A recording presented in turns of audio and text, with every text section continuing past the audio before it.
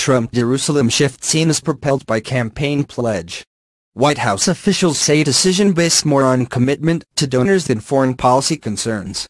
U.S. President Donald Trump's determination to declare Jerusalem the capital of Israel and move the American embassy there was largely driven by a desire to fulfill a campaign pledge and align his policy with the wishes of wealthy backers, despite opposition from senior officials in his administration, according to a report Wednesday.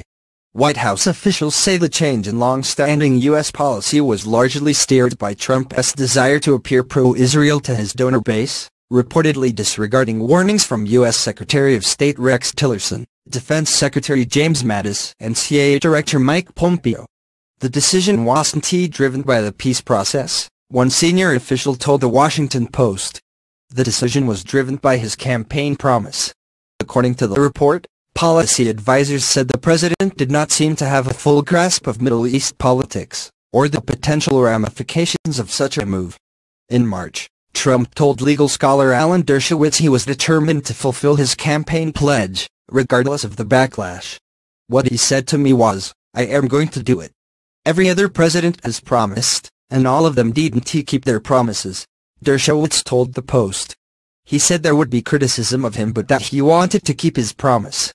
Among the powerful allies who encouraged Trump to make the controversial announcement on Wednesday were Vice President Mike Pence and Republican mega-donor Sheldon Adelson who contributed over $20 million to his campaign in 2016.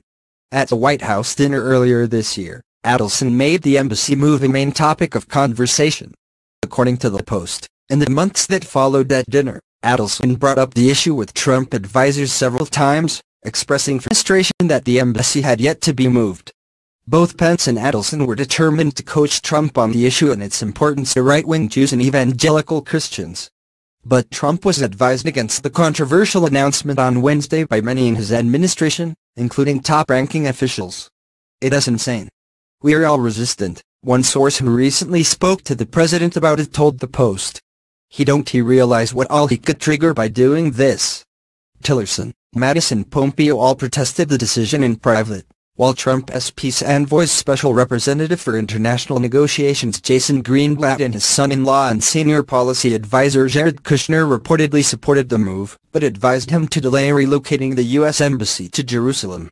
Announcing his decision on Wednesday, Trump repeated several times that he was delivering on a campaign promise. While previous presidents have made this a major campaign promise, they failed to deliver. Today, I am delivering, he said, Prime Minister Benjamin Netanyahu hailed the Trump's decision as historic, while Palestinian Authority President Mahmoud Abbas said it marked the end of Washington's role as a sponsor for Israel-Palestinian peace talks. Muslim and Arab nations also fumed. Turkey called the decision irresponsible and illegal. Iran said it would provoke Muslims and inflame a new intifada. Israel's neighbors Jordan and Egypt both warned the decision violated international law and agreements, and could have highly negative consequences. Widespread unrest was expected in